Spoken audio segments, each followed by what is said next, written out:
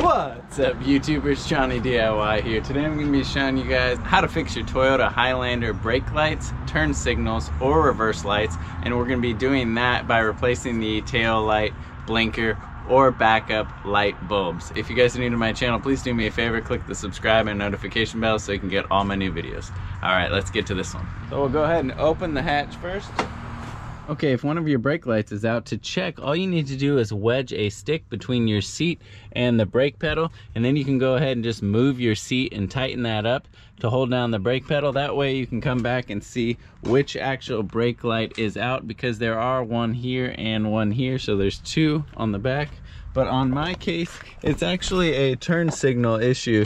You're gonna notice you have a turn signal issue because the relay is gonna blink really fast. Listen. Hear it? Now look at this side. It's much slower. So we know it's either the front or the back, and I've already diagnosed it to be the back. So we're gonna be working on this driver side. If you come onto the inside, you can see there's an access panel right here. And this just has a couple clips here and here. Just go ahead and pop these clips, push them in, and that whole panel comes on out. Now that's gonna give us full access to all the light bulbs. That one on the top is a brake light.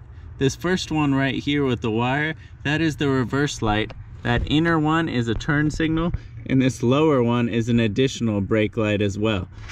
So we're gonna be getting to that back one. And to take these out, all we have to do is turn them counterclockwise just a little bit. I think if I unplug this reverse light, push in this little tab right on the end and you can pull that out. Now I have more room to get to that turn signal. It's a tight squeeze, but it just unsnapped. Then I can gently pull this out. So it just turns a little bit counterclockwise and unsnaps. Okay, so here's the new turn signal bulbs. They're number 7440 and the A is for the amber color. If you need tail lights, they are 7443 if you need the reverse light, it is 7440. And if you need the third brake light, it is a 921. Okay, so we can just go ahead and pop out this old bulb. Just pulls on out. Doesn't look like it's blown out, but it's been giving me issues. Sounds a little bit loose. I'll make sure I go ahead and put some links down in the description to all those bulbs I just listed for you guys. we're gonna go ahead and take our new bulb out. And be careful not to handle them with your fingers. Go ahead and grab it with a paper towel or put some fresh gloves on. You don't want to get the grease on the glass part of the bulb because the grease can create a hot spot on the glass and lead to premature failure. So we just go ahead and snap the new bulb on. Make sure it's nice and clean.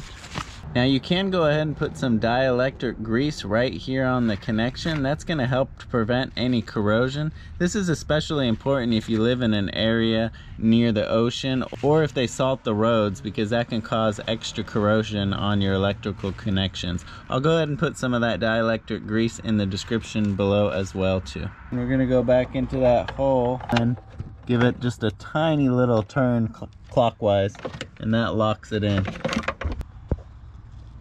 Then we can go ahead and put our reverse light back in, snap that in. Now we're gonna wanna test it before we put the cover back on. All right, the relay is slowed down, so hopefully it's working.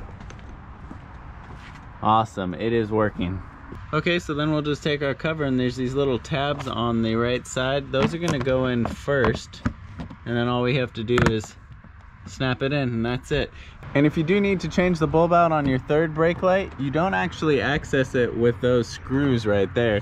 Just go ahead and open your hatch up and this little trim panel piece in the middle, you can just kind of unsnap this and there's gonna be the plug and bulb and it'll be the same process as that.